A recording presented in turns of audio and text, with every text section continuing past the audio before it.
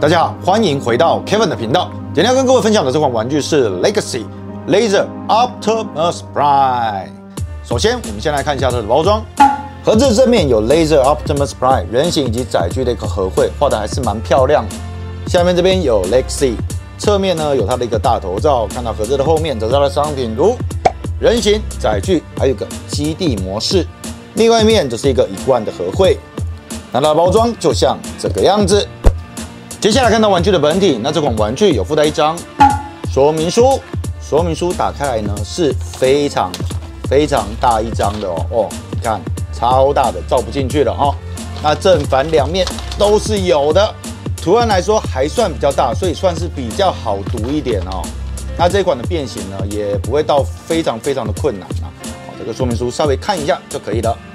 配件方面有附带。一把剑哦，天下第一剑，呀呀呀呀呀！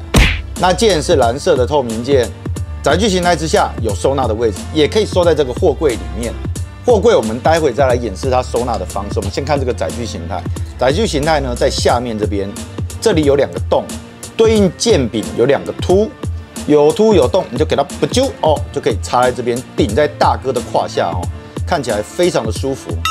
收纳在这边，我觉得是还不错的。然后它还有附带一把斧头，应该是斧头吧？哦，那上面这边一样是蓝色的透明件，下面握柄的地方呢是可以把它折叠收纳起来的哦。这边会有两个凸，这个东西也可以收纳在这个载具的上面哦。在车尾这边呢有两个洞，对应这两个凸，直接的把它嘟进去。如果不搭载后面这个油桶的话，这些武器都有一个收纳的位置。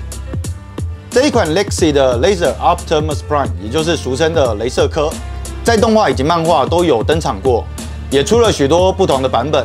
那这次 Lexi 又推出了一个全新版本。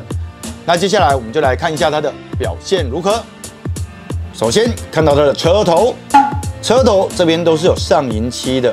那它是一个长鼻头的卡车，上面这边还有火焰纹，这一点跟电影版本是非常像。驾驶舱使用的是蓝色的透明件。轮框是有上银漆的，后半部它其实是拿《地球崛起》的下半身来改模。那车子的后面呢，这个手臂在这边就比较明显的暴露了出来。车尾的话，其实跟《地球崛起》是一样的，把它翻过来看，看起来收纳的还是蛮干净的。那在这个形态之下呢，我个人觉得表现的是还可以了哈，并不是说太好，也不是说太差。最大的缺点就是手臂直接在后面这边暴露出来。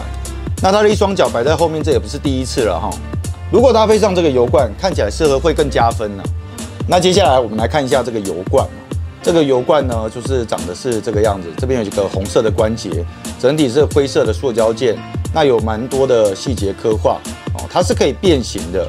那我们就把它来变一下。首先把这边打开来，打开来整个的翻开，然后侧边两边就可以把它打开来了。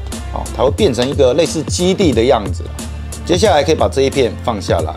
然后把上面这一块东西呢，把它旋转一百八十度，说明书好像是这样子画的。接下来把这一块整个的折下来，那这个是可以拔起来的哦。这边就是一个凸跟一个洞的结合，然后再把红色的这个手臂拉出来，一个机械手臂。上面这一块呢，把它往后推，它有个炮在这里。如此一来，这个基地形态就完成了。你是可以搭配这个大哥在这边一起玩的。那刚才有说到这个武器在这个基地形态也是有收纳的位置。首先就是剑，剑是收纳在这边有两个洞，对应剑柄的两个凸，把它扣进去就可以收在这里。那另外一边呢是收这个斧头的，这边有一个洞嘛，对应斧头这个两个凸，把它扣进去哦，那这个武器就可以收纳在这个地方。那顺此一提，上面这个东西是可以拔下来，可以跟人形之下做一个互动的。这个待会我们再来看。那这个基地形态，我个人觉得我并没有什么太大的兴趣。基本上我应该是不会玩这种基地形态的东西了。我是觉得有这个油罐搭配这个车头是还蛮加分、蛮屌的、蛮好看的。那至于有没有这个基地形态，我就不是那么在乎了，算是送的。大小比例方面，我们就拿出地球崛起的大哥出来跟他比较一下。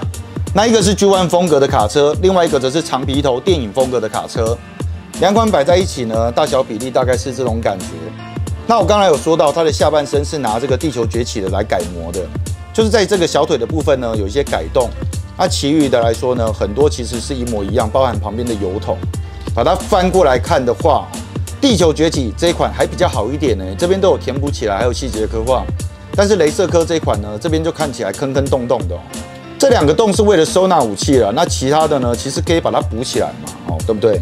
然后再来就是这个油罐，这个油罐呢，也可以给地球崛起的大哥搭载，哦，搭载起来是完全没有问题的哦。只要这个孔洞合适的话，其实任何一款都可以拿来搭载。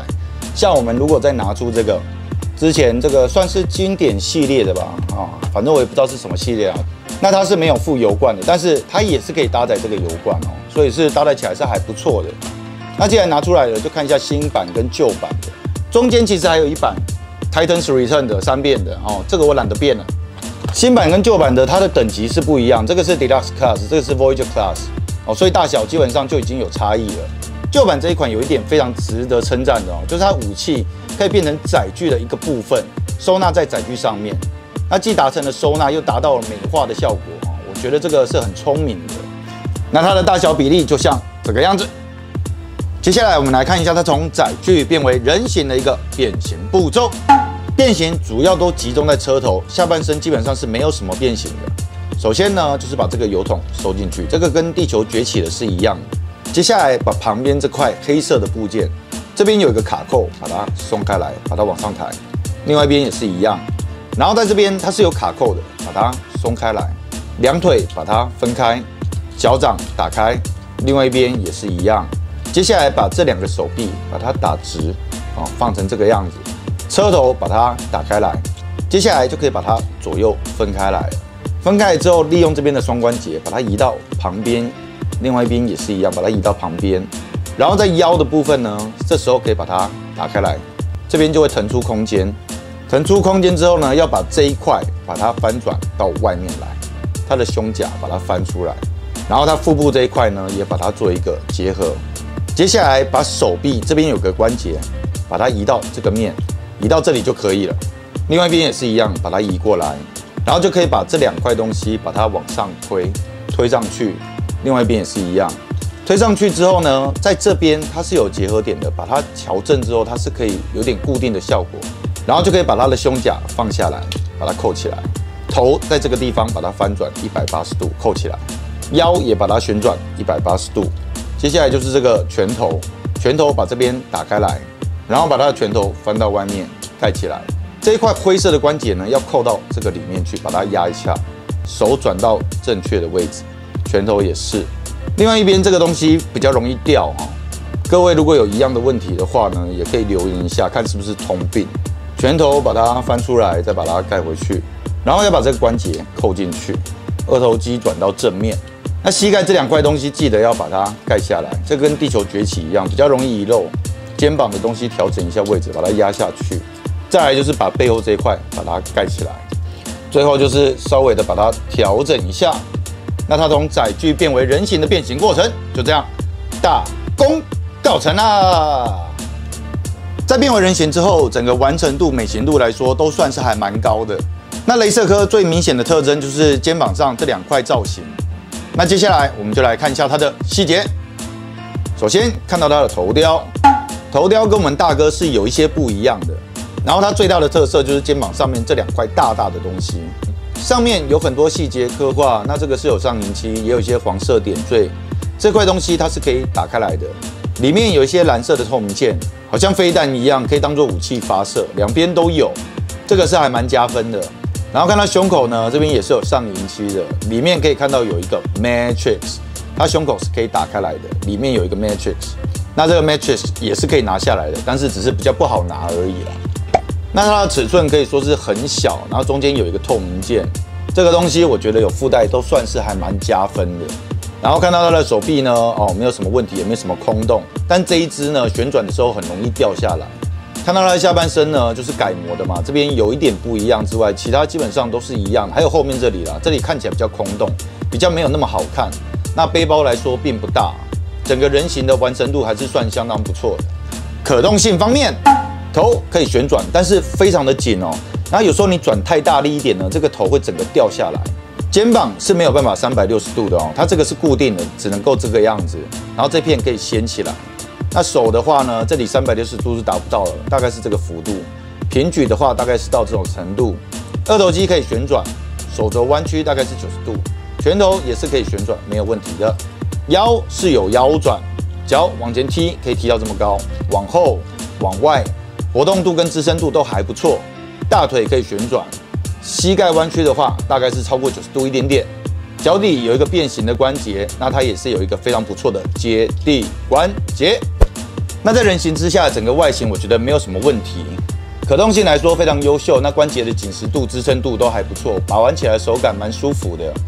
它所附带的武器，武器这两个也是可以结合的，你可以把它扣在一起，把这个灰色附件翻出来，这边有个洞，把这个握柄插到这个洞里面去，哦，它就可以变成一把这个大剑，天下第一剑，看是你剑还是我剑，哦，拿上这个大剑，哦，看起来是还蛮霸气的哦。然后再来就是一手握一个啦，这个是很常见的、最基本的握持是都没有问题。这个剑呢要握是偏紧了一点哦，要瞧一下。那手持双武器看起来大概就是这种感觉。嗯，再来就是这个油罐，上面这个东西其实是可以拔下来的，我有讲过嘛，人形之下也可以做一个搭配。然后拔起来之后呢，它这边有个凸，你可以让它握在手上，或者是你可以把它这个安装在这里哦，增加火力。又或者是脚旁边这个有洞，你也可以把它插在这个小腿的旁边。这个说明书上面是有说明的，背后这边有个洞嘛，你也可以把它插在背后。这个就看个人的喜好了哈，玩法是还蛮多变的啦。大小比例方面，我们就拿出地球崛起的大哥，大哥出来比较一下，大哥你辛苦了。然后我们再拿出 Titans Return 的镭射科，哦，三变的，尺寸可以说基本上是一致的。那之前 Titans Return 这一款，它变成头领战士，又可以三变，人形看起来会比较杂乱一点，尤其是它背后还有小腿的部分。那这是因为它人形不参与油罐的变形，所以人形整个美型度是有提升的。而最后这个 Deluxe Class 的也把它拿出来放在旁边哦，看一下哦。那只要是镭射科呢，肩膀都会有这两块东西，算是一个特征。这一款 Lexi 的 Laser Optimus Prime 整体的表现都还不错。油罐可以跟其他玩具互动，这一点算是还蛮加分的。变形过程对我来说有点稍显简单了一点，没有给我像地球崛起大哥那种惊艳的感觉。那今天这款 Laser Optimus Prime 的分享就到这边告一段落。如果你喜欢我的影片的话，帮我按个赞，分享给朋友，不要忘记订阅我的频道。那我们下次见，拜拜。